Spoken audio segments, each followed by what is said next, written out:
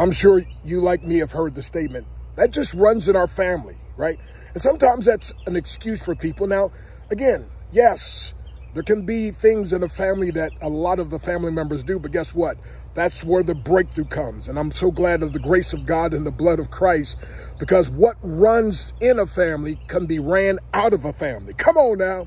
I said the grace of God and the blood of Christ can run things out of the family. So you don't have to be stuck and say, well, you know, this is what mama did, grandmama did, you know, my cousins, my, no, no, no, no, no. You could be the one that allows the power of the blood of Christ to run it out of your family and to run in something totally different, my friend to run into a total change. By the way, I like what somebody said. If you came from a poor family, that's one thing. But just don't let a poor family come from you. Ooh, come on, somebody. So again, certain things run in the family, but you can run it out.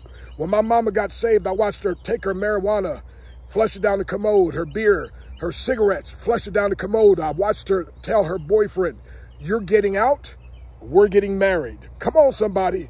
I'm telling you, things were running in the family, but the Lord came in and ran those things out, my friend, and totally turned and changed our household. He can do the same for you. Have you been saved? Have you been washed in the blood of Christ? Have you been born again? If not, do so today, my friend. Inbox me. I can help you out.